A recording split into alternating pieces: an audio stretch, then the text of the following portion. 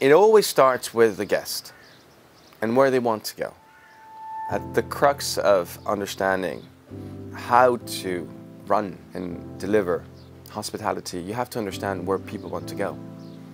And where people want to go often is what really drives the expansion of, of travel, hospitality, and often what pushes us to be able to develop new destinations. And the most discerning travelers are the ones that go everywhere.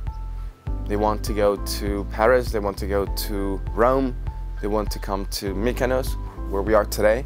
They want to go to Sydney, they want to go to Bali, and that's where it really starts. It starts where guests want to go. Travel is one of the most amazing things um, in life. Travel is one of the most transformative things. Why? Because it makes us grow. And travel has been an inherent part of what humans have always wanted to do. They want to travel to discover, they want to travel because they want to know more, because they want to experience different things. And that really is the beginning. The beginning is about where people want to go. onefinestay at its core is the art of curation. It's the art of choosing the most beautiful homes around the world that enable those experiences to come to life. What makes us unique is our ability to choose these homes, the destinations, and the people behind that make those experiences come to life. The art of selection is one of our key differentiators that is expressed in the way we select homes. We select the destinations we go into. We are not in any or every destination. We don't select any or every home. We're a curator of experiences. We focus on the very best homes. We focus on enabling not any experience, but the very, very best experiences.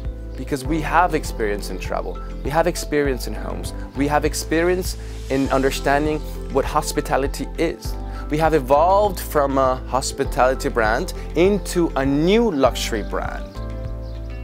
In the past, we used to think about travel as a standardized experience, and it's not true anymore. It is our guest. The guest has evolved, the guest has changed an attitude. The guest no longer wanting that standardized approach to my experience because I am different. Because when I travel, I do want people to think about me. So I tell you what I want. So one of the things that we do in onefinestay is listen to our guests. They come to us way in advance. They tell us all these different details. And what we need to do is listen to them. And that, at the end of the day, what we are doing is capturing that change of attitude in travel. And that's where I also feel that we not only have been a pioneer, that we are designing the new luxury experience, that we are designing a new travel experience because we're capturing within those requests the new change in attitude in travel. That change in attitude makes all the difference. Makes all the difference because we are capturing the fact that people want more. Traveling, I guess it goes back to your original question. What, where do we start? We start from what people want to travel. And that also changes. We are in destinations. We have homes that are the permanent collection, where we also have homes that leave because they don't meet our standards. They don't meet our standards, they don't meet what people like. There's nothing standardized in a home experience. Every single home is very different, so we need to be able to understand what is it that, of that home that makes it unique and special. Every home has a story. Every destination has a story. That ability for us to be able to select is also what makes us very unique and evolving always with our guests, with our destinations, with travel.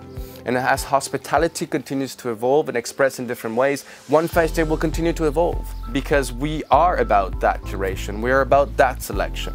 So onefinestay is the art of curation, is the art of selection. onefinestay is the art of being able to focus on those experiences. Um, onefinestay is about making sure that we listen to our guests, makes it unique. One Fine Stay is about value, onefinestay is about those moments of joy.